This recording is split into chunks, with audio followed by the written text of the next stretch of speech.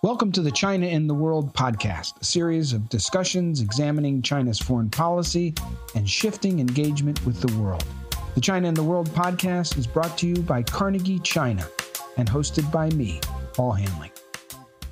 Welcome back to the China in the World podcast. Today we're launching a new series to commemorate the 10th anniversary of the China in the World podcast. Over the last 10 years, I've been fortunate to conduct over 180 interviews, both in person at the Carnegie Center in Beijing as well as virtually, with leading scholars and experts on China, U.S. China relations, and international affairs. To celebrate 10 years of the China in the World podcast, I'll be publishing a series of look back episodes to help put current international issues in context.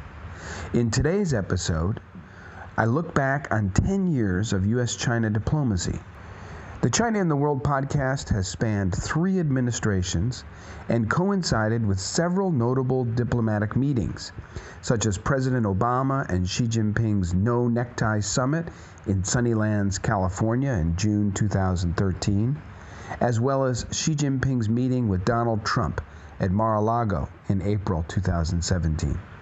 Today's episode helps shed light on what can be accomplished during high level diplomatic meetings, what went right during the past meetings, what went wrong, and gives a glimpse into how U.S. China relations have evolved over a pivotal decade in the bilateral relationship.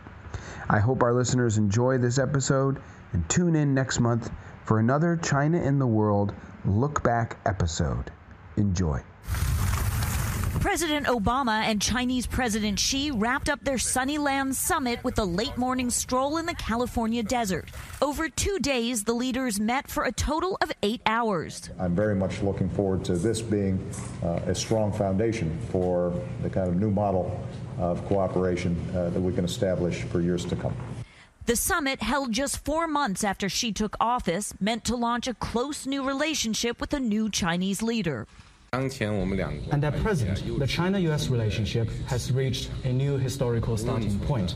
In the following interview, recorded in Beijing in November 2013, I spoke with Steve Hadley, former National Security Advisor to President George W. Bush. Is it natural that our two countries will move to this new type of major country relations, or are there factors that you think could threaten the realization of this new framework?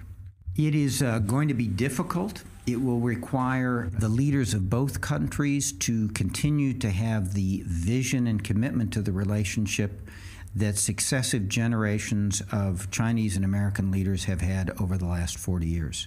The Chinese people, uh, I think many of them will think that China is now a great power and it is time for China to put itself forward and the rest of the world, if you will, pay homage to China. That's a formulation that will not work and is really not in the best interests of China, which depends for its continued development and growth on interdependence and uh, successful economic and trade relations with its neighbors. Similarly, on the American side, Americans will see many many Americans will see China's emergence and its uh, overwhelming economic power as a real threat to American interests, and will fear that China is seeking to displace uh, the United States and bully its neighbors. The next recording comes from an interview with Professor Xie Tao from the School of International Relations at Beijing Foreign Studies University, recorded in May 2014. What progress do you think has been made on defining this new concept of a new type of great power relationship? Well, in terms of defining the concept, um, I think there's more struggle on the Chinese side than on the American side mm. about what exactly is meant by this uh, new model of great power relationship. Because the Chinese first proposed this idea, and so it's incumbent upon the Chinese leaders and scholars to tell Americans, you know, what do you mean by this? Mm-hmm. I think so far our focus has been, I think, two things: no confrontation and cooperation. Right? No confrontation, like the former Soviet Union time and also mutual benefit uh, mm-hmm. cooperation. I think the Chinese leadership and Chinese scholars really want to get American um, policymakers and officials to, to accept this idea. But my own sense is that there's a much, much cooler reception to this idea on the American side mm. than on, on the Chinese side. In the following interview, recorded at Tsinghua University in June 2014, I spoke with Dr. Yan Xuetong one year after President Obama and Xi Jinping's meeting in Sunnylands, California. Each side and still do not have experience and about this uh, new relationship between the rising power and the status power. We want to have this kind of relationship different from what we know in the history. That means uh, we want to create something we never know. So this is uh, really a, a, new thing. So that's why it's difficult. The most positive part is that the the leaders of both sides and uh, uh, quite uh, positive on this idea. And uh, uh, generally speaking, from my understanding, they agree with each other. They regard it as very necessary for prevent a confrontation between China and the U.S. And uh, from my understanding, there's more problems at the working bureaucratic level rather than at the political leadership level. The US President Barack Obama is talking trade in China as he kicks off a week long tour around Asia. Barack Obama says that the world will benefit if America and China manage to strengthen their economic ties. Earlier, he spoke at a meeting for chief executives at the APEC gathering taking place in Beijing. The United States welcomes the rise of a prosperous, peaceful, and stable China.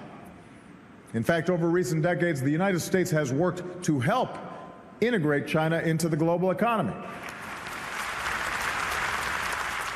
In the next audio clip, I interviewed Randy Schriver, former Assistant Secretary of Defense for Indo Pacific Security Affairs, about President Obama's trip to Asia for the APEC Leaders Meeting in December 2014.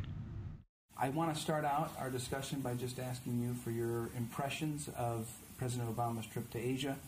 What do you think the significant uh, accomplishments were? What was he trying to achieve as well? Thank you. I, I, think from where I sit, it looks like a very successful visit. I think a lot of people um, in the region and, and, really around the world like to see us coming together and cooperating. Um, but, but there's still some pretty hard work ahead to, to fully implement these agreements, and, and mm-hmm. know, time will tell if we've got mm-hmm. that. Um, we, we, to some extent, it looks like our leaders are still talking past one another when they present their view for the future security architecture of the region. And that's ultimately going to inform the relationship more mm-hmm. than any particular area of cooperation or agreement. From where I sit, it looks like we're on a trajectory for sort of longer term competition. Good morning. Ni hao. President Xi, Madam Peng, members of the Chinese delegation, on behalf of Michelle and myself, welcome to the White House. And on behalf of the American people, welcome to the United States. In the next interview, I spoke with Dr. Evan Medeiros, former Senior Director and Special Assistant for Asian Affairs under President Obama, about President Xi's state visit to Washington, D.C.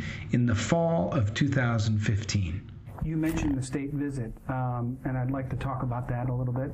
President Xi Jinping will visit the U.S. next week. His first stop will be in Seattle, and then he'll go on to Washington for a state dinner and a meeting with President Obama. Could you uh, give our listeners a sense of what your expectations are for the visit? Well, having been through uh, three of these big summits between President Obama and his Chinese counterpart, I have modest expectations. I think, first and foremost, the most important element of any of these visits is ensuring that there's plenty of time for both leaders to have extended discussion about the major strategic priorities in the U.S.-China relationship. It's difficult to overstate the importance of that sort of uh, interaction between the President of the United States and the President of China to really work through the uh, complexity of the relationship in order to expand cooperation and manage uh, competition the channels of communication uh, across the relationship are broader and deeper than they've ever been before. We know the Chinese and they know us. We also have built up a very solid track record. Uh, the U.S. and China over the last seven years have worked through some difficult issues. We have uh, resolved crises, and we have a good track record of uh, working together to solve important problems. Uh, North Korea's nuclear program, Iran's nuclear program, climate change, uh, etc. Fundamental question at the heart of the relationship, which is what kind of rising power is China going to be? Is China going to adhere to international norms that have been well accepted for decades, or is China going to seek to revise those rules in ways that um, support China's narrow interests? And so, uh, work on the South China Sea issue and the cyber issue is going to need to be done over the next 18 months so these don't become uh, corrosive issues that undermine the overall stability of the relationship and uh, put us on a path to inevitable rivalry. The next recording comes from an interview in November 2016 with Dr. Zhao Hai, scholar at the National Strategy Institute at Tsinghua University, about China's reactions to Donald Trump's election as president and the implications for U.S. China relations. So, yesterday, when I was walking into the embassy for the uh, gathering to watch the, the election returns, I was walking in with a Chinese scholar and I said, It looks like uh, Trump may win this. And he said, Let's hope so. And I was surprised at the response. And I said, What do you mean by that? And he said, Well, many of us scholars have come to the view that from a geopolitical standpoint, mm-hmm. Trump would be better. Yeah. Why have Chinese scholars come to that view? My personal uh, opinion there's a divide between um, the foreign policy realm and the economic and business realm. So there's a lot of uh, people from the economic perspective saying that Trump's presidency may hurt U.S.-China economic relationship, may hurt the um, uh, globalization and, and, free trade. But on the other hand, you have people on the uh, geopolitical and, and security side thinking that maybe Trump's presidency is good. And on the geopolitical side, is it because Trump, the candidate, has indicated – uh, or has, has left the impression that the United States will draw inward. And from that standpoint, there'll be less pressure on China, especially in the Asia Pacific region. Uh, no, I, I, think there are m- many clear minded scholars thinking mm-hmm. that American retraction uh, or um, the trend towards isolationism may not be a good thing for China because when the U.S. is uh, a big pillar for the current international system, and China benefited from the current uh, international system. President Trump and Chinese President Xi Jinping landed in Florida Thursday, the start of their two day summit in Mar a Lago. But it won't be all sun and games at the golf resort. Their first face to face meeting will be a diplomatic test for Mr. Trump, who was highly critical of China on the campaign trail.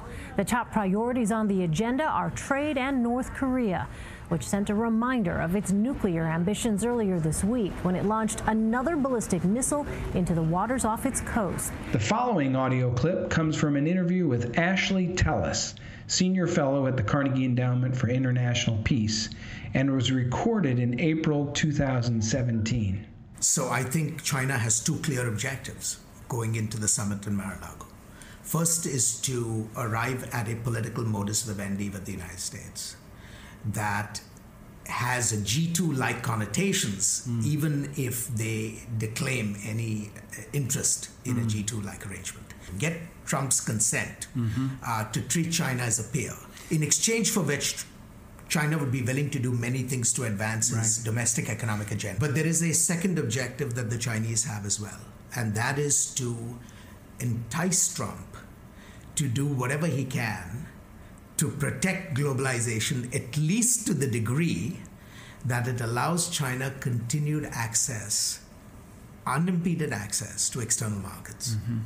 And so I don't think the Chinese are apostles of globalization in an abstract sense. They need it. But they, they need, need no. continued uninterrupted access to global markets. In the next audio recording, I interviewed Professor Jia Daozhong from his office at Beijing University in April 2017. I think it'd be very helpful for the listeners of this China and the World podcast, which is a broad international audience, to, to hear your perspectives of the context of the summit in China's broader domestic and foreign policy environment. In terms of the events taking place in Beijing this year, in terms of the 19th Party Congress, which will take place in the fall, and also in terms of President Xi's foreign policy agenda for the next six months. There is that demand from the Chinese political circles the demand would be something like this Okay, Mr. Xi, why don't you go and talk to the Americans uh, leadership face to face? But you also have the uh, responsibility on your shoulder to show they listen to you. At least among those who are in the know about U.S.-China relations, we never really expected the ties, the management of the ties, to be so difficult or so out of control. Mm.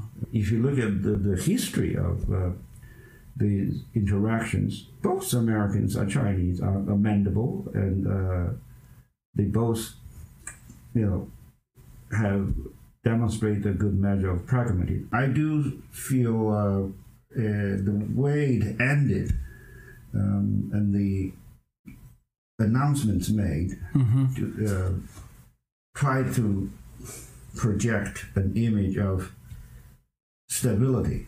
And I think the totality of the meeting, the result of the meeting is that they are ready to work with each other. The next recording comes from an interview with Danny Russell, former Assistant Secretary of State for East Asian Affairs.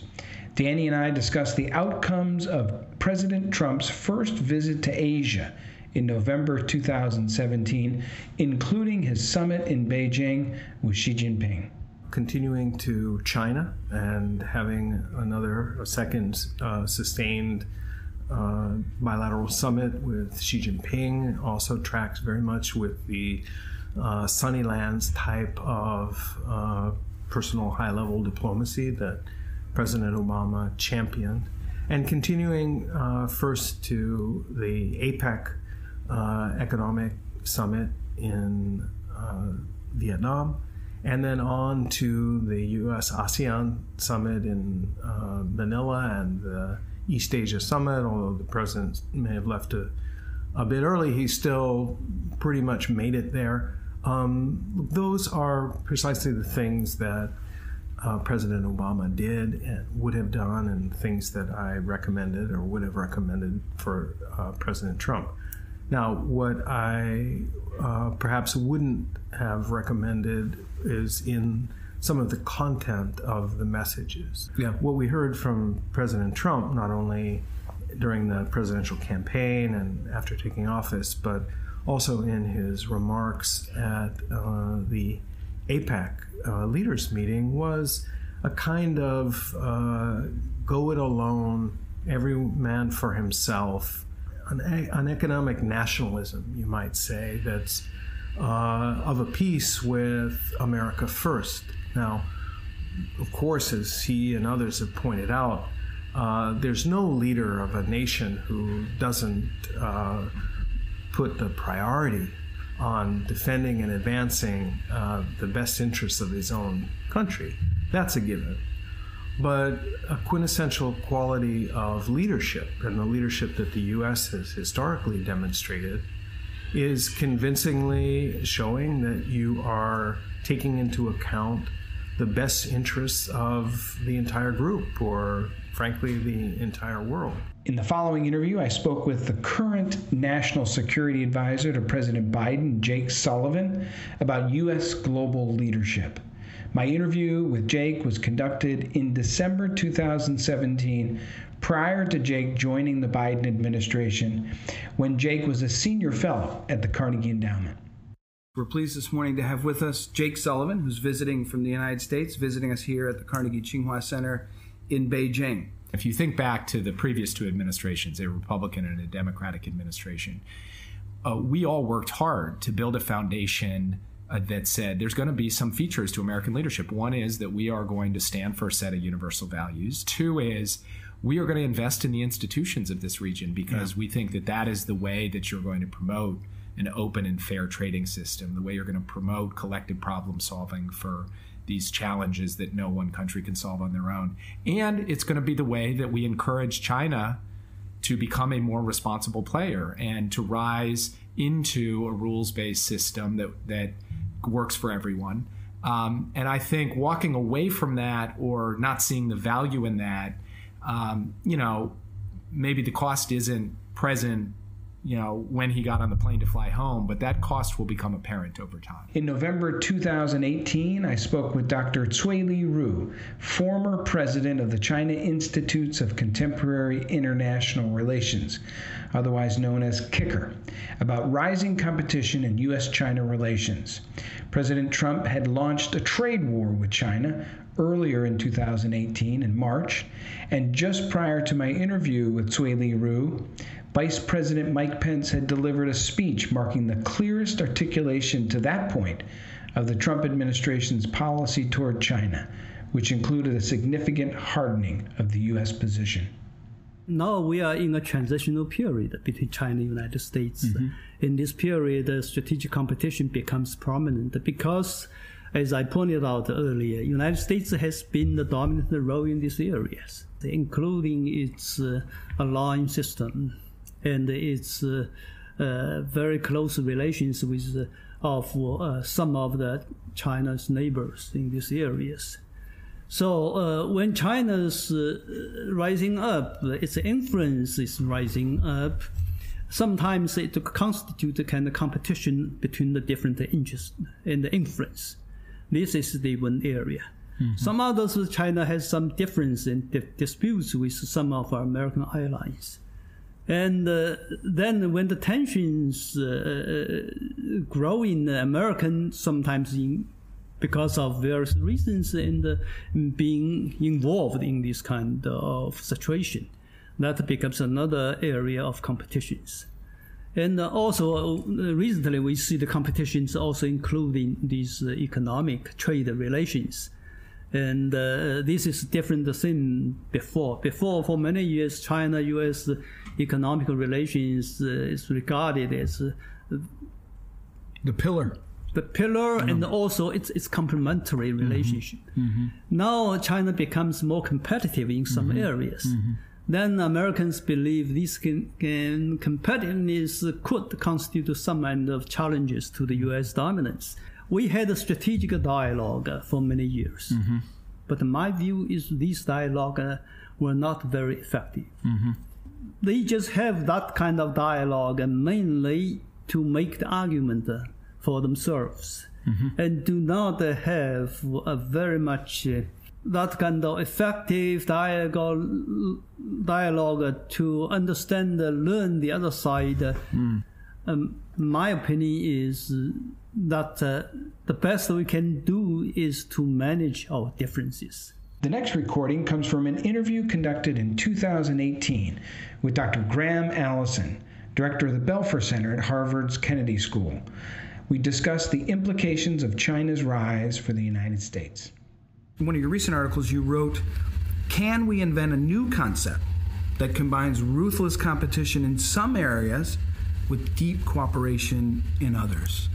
How do you think about this question? And I ask that because, as you and I talked about this morning, I served in the Bush administration and the Obama administration. And yes, we had areas of disagreement with China, but we also tried to identify areas of common interest and build cooperation. We thought that was an important element. That seems to be absent today. It's much more about competition, even confrontation. Is it possible to have a relationship where you have intense competition, but you cooperate at the same time? So that's a great question, and I think that's actually the heart of the matter. Mm. So, Washington today, as you say, has gone through this wake up, as they think of it, mm. to a rising, risen China that is now rivaling the U.S. across the board and the Washington consensus, not just uh, the Trump administration, but across the political spectrum, Democrats and Republicans alike, it's pretty much moved to a new uh, Washington consensus. Mm. And the consensus is uh, uh, we made a cosmic bet. We bet that China was going to modernize, become wealthier, therefore liberalize, therefore have individual rights of the sort that we understand, therefore have a democracy, and therefore take its place in the American led international order. That is, China would basically follow in the footsteps of Japan and Germany and grow up to be like us and to take their place at our table, in which we're the with the chairman. Uh, and uh, as Lee Kuan Yew said, and I quote him in my book, uh, uh, that was a rather naive view.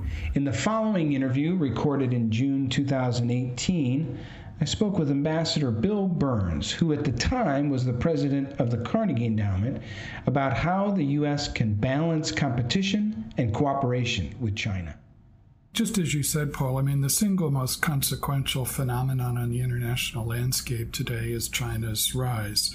As you know, history is full of collisions between rising powers like China and established powers like the United States. I think if we're honest with ourselves, mm-hmm. there is that risk. I don't, however, think it's foreordained. I don't mm-hmm. think it's inevitable. So the challenge for statecraft, for diplomacy, um, is how do you build a stable mix of competition and cooperation in relations between the U.S. and China? Because both of those elements are going to apply. Um, and that means everything from engaging in an honest conversation mm-hmm. about the structural challenges in our economic relationship through uh, finding ways in which we can work together on crucial geopolitical issues like North Korea's nuclear and missile program through managing some very real differences, whether it's over Taiwan or the South China Sea. That is a, a very significant task. In fact, there's none more significant sure. on the international stage today. In the next clip, recorded in November 2018, I interviewed Doug Paal who at the time was vice president for studies at the Carnegie Endowment, about U.S. China relations ahead of Trump and Xi's meeting on the sidelines of the G20 in Buenos Aires. Uh, later this month, uh, President Trump and President Xi will meet on the sidelines of the G20 meeting in Argentina. All eyes will be on that meeting, of course, uh, to see if the two presidents can do anything to cool things down. Um, and there's an increasingly a view that given the current state of tensions, it's really only the two leaders that can find a way forward. What do you expect from this meeting? Well, my expectations are fairly low. I think that the, as, as we discussed at the top of the broadcast, the podcast, the, um, the there's no mandate coming out of the American elections to really do something. Um, there's a, there's a lot of in in for President Trump politically to keep the pressure on China. It's a bipartisan support in the U.S. to get some real change from Chinese on how they behave in their own marketplace and how they behave internationally on trade and economic fronts, let alone the areas of science and technology and intellectual property theft and uh, strategic competition. And so the um, uh, there's not a big incentive to reach a large agreement. I think there's some incentive mm. to manage things for the time being. Mm. The next audio clip comes from an interview in April 2019 with Susan Thornton, former Assistant Secretary for East Asian and Pacific Affairs, about ongoing U.S. China trade negotiations. One of the things that's sort of out there uh, in the realm of the immediate is this trade deal and these mm. trade negotiations that yeah. are taking place. And we've talked a lot about those this week during your time out here how important is this at this particular juncture for the U.S. and China to get a trade deal? And what needs to be in the deal for it to be a success from a U.S. standpoint? I think it's pretty important to get some kind of a success marked in this relationship uh, in the pretty near future. So, and right now, the only thing we're really talking about with China is this trade deal. So, uh, I think it's pretty important that we be able to show that we can work together, that we can have a negotiation, that we can reach a successful conclusion, that we can get some progress on various issues. Uh, of course, the trade deal that we've been working on will also help push forward China's reform and opening, which um, is something that has been at the center of our effort to engage China from the beginning. And I think that's an important mm-hmm. ingredient in whatever deal comes out. So that means that a deal can't just be about purchases, it also has to be about reforms and opening and a lot of the structural issues that people have raised, things like regulations on foreign investment, open and open, more open market access, um, no forced transfer of technology, mm-hmm. forced joint ventures, protection for intellectual property rights. In the next interview, taped in September 2020, I spoke with Dr. Jia Dalei, School of International Studies at Beijing University. We discussed the state of U.S. China relations during the COVID 19 global pandemic. You know, I want to talk a little bit, if I could, about strategic cooperation and COVID 19. Returning to your article that you wrote on ideology and strategic competition, you explored an idea as the need for strategic cooperation grows, the negative impact of differing political systems and ideologies lessens. But by this logic, of course, Jia one would yeah. could expect that the outbreak of the coronavirus would be an issue that would force the US and China to put aside their differences and cooperate. And indeed, many had predicted that a global pandemic would be a unifying force between the two countries. But of course, that was not, has not been the outcome that we've seen so far. Sure. I think it's, as we uh, can see, it is very unfortunate development between China and the US and also for the rest of the world because of the the pandemic is basically global right now. You know, people say that if China and US cannot cooperate on tackling issues like a, pandemic, you know, what else can they cooperate on? Because as as you said, it's an area where supposedly countries have, can cooperate easily. So I think, of course, the, the general context of U.S.-China relations explains a little bit the dynamics during the pandemic. I think because you know the two countries already starting from late 2017 and, and early 2018 with the Trump administration national security uh, strategy report and national defense strategy report. I think that kind of grudgingly, China you know, never uses officially the phrase of strategic competition or similar terms, but Beijing has to gradually face up to the reality that two countries are entering a new phase of strategic competition. In April 2020, during the early days of the pandemic, I interviewed Dr. Evan Feigenbaum, current Vice President for Studies at the Carnegie Endowment for International Peace. We discussed the prospects for U.S. China cooperation in dealing with the COVID 19 virus. Frankly, you know, strategic tension between the U.S. and China isn't new if you think about how the relationship started, when Richard Nixon went to China in 1972, China was just crawling out of the Cultural Revolution. The United States and China were still fighting a proxy war in Vietnam. It was a hot yeah. war. And so ever since the inception, they've had divergent political systems, big ideological differences. They've been security competitors. So that part of it isn't new. But what is new is that through all of that period, despite the strategic tensions, they found ways, if not to cooperate, at least to coordinate on mm-hmm. complementary, although not always common interests, on threats to global stability of a particular magnitude, velocity, and nature. So mm-hmm. when I mm-hmm. think back to the kinds of crises that have occurred in the last 20 years, things like the financial crisis of 2008, that mm-hmm. threatened global contagion and probably the worst economic collapse since the Great Depression of the 1930s. Um, mm-hmm. The United States and China didn't agree on everything. But the then Treasury Secretary, Hank Paulson, did work with the governor of the central bank uh, and other senior officials in China to yeah. uh, try to persuade China to do some things that actually, from an American perspective, were stabilizing for the markets. And there have been other examples, the Ebola outbreak in 2014. If you think about the current pandemic where there's so little cooperation and the two sides are actually hurling insults back and forth at each other, you know, in 2014, American and Chinese uh, researchers actually worked side by side in a Chinese laboratory that had been set up in Sierra Leone in West Africa. That's just unthinkable today. The next recording comes from an interview I conducted with Dr. Zha Dao Daojiong from Beijing University in September 2020 on the then new phenomenon of wolf warrior diplomacy and rhetoric in China's foreign relations. But we see a new feature on the on the Chinese side uh, in, in terms of what's labeled wolf warrior rhetoric or wolf warrior diplomacy to punch back or in many ways proactively just strike out uh, and criticize the US and other countries um, for their handling of the coronavirus or for their criticism of China. Um, what explains this new feature of Chinese communication to the world?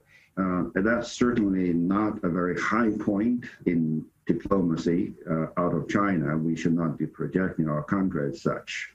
But uh, on the other hand, uh, need to be a little bit balanced.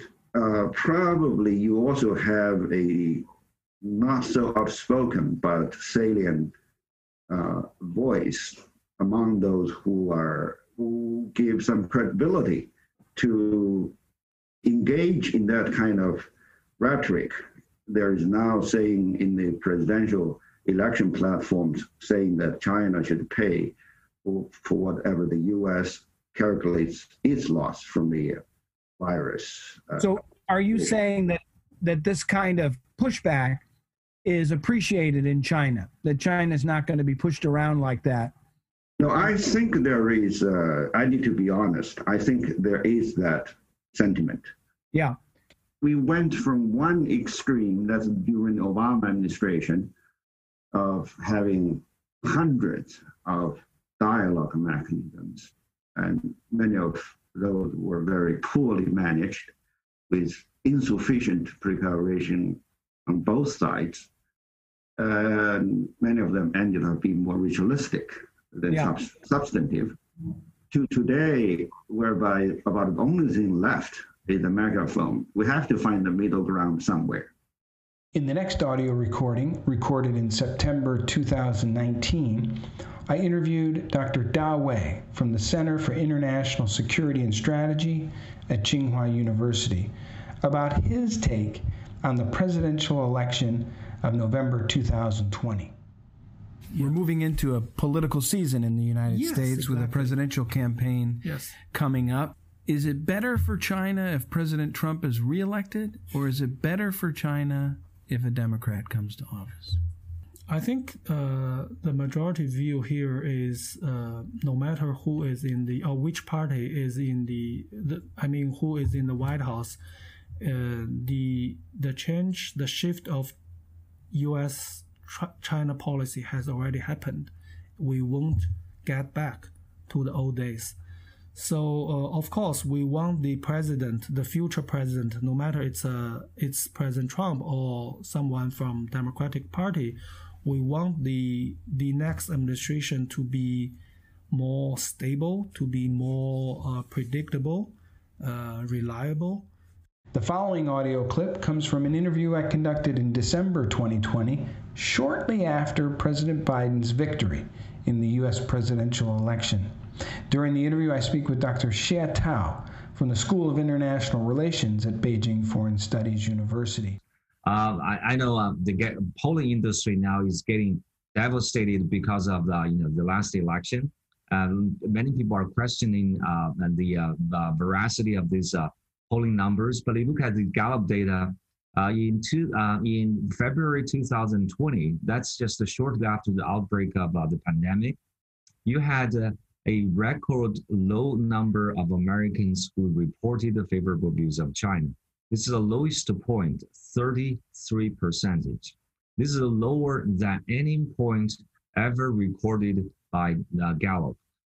In the next recording held in March 2022, I interviewed Dr. Tong Zhao, Senior Fellow at Carnegie China, about U.S. China relations one year into the Biden presidency. Tong Zhao, I want to turn to you. Um, what's your sense on the view from China broadly around the Biden administration's uh, China policy? I think the uh, mainstream Chinese view, uh, especially within the Chinese expert community, is that um, Biden administration's policy uh, represents a quantitative ad- adjustment, uh, not a qualitative change uh, compared with the Trump era policy. Um, uh, it's it's in, in, a lot of sense it's a continuation of Trump policy, which reflects uh, a consensus of some sort uh, in in DC. That said, apparently administration appears to be more competent in uh, many issue areas. Uh, it is uh, able to uh, build back um, US-led alliance and relying on allies and friends uh, for long-term competition with China, uh, which could present a more strategic threat to China in the long run. Um, but I think there is also this growing agreement that actually the two sides are moving uh, closer um, in, in some, uh, you know, at the strategic level. They both agree they need to make more efforts to stabilize the bilateral relationship, uh, even though China doesn't like the term of building guardrails to the relationship. But uh, in essence, I think China shares that importance. Uh, which was uh, you know reflected in the discussion in the two presidents' first virtual summit meeting in November last year. The following recording comes from an interview with Hoang Thi Ha in December 2022, assessing the outcomes of the meeting between President Biden and President Xi on the sidelines of the G20 meeting in Bali, Indonesia. As for Xi Biden meeting, I think it is a relief uh, to not only both countries but also to the rest of the world uh, to see that in-person meeting has res- been resumed uh, with some positive atmospherics, which uh, gives us hope, and and that is hope only. Um, that it could help reduce tensions and mitigate the risk of conflict, uh, especially over the Taiwan issue. And uh, there are some good assurances coming out from both President Xi and President Biden that they don't mm. want war and will take measures toward that end, including a resumption of some defense dialogues to increase transparency, manage competition, and perhaps explore cooperation uh, where possible. Uh, mm-hmm. But I would also like to highlight that there is no magic touch here. Uh, the Xi mm-hmm. Biden meeting would not alter the course of strategic competition between the two great powers Thank you for listening to the China in the World podcast. For more episodes and research, please go to carnegieendowment.org. This episode was produced by Nathaniel Schur with assistance from Wang Yuanhang, Michael Malanconi, and Sama Kuba. The music was composed by Spencer Barnett.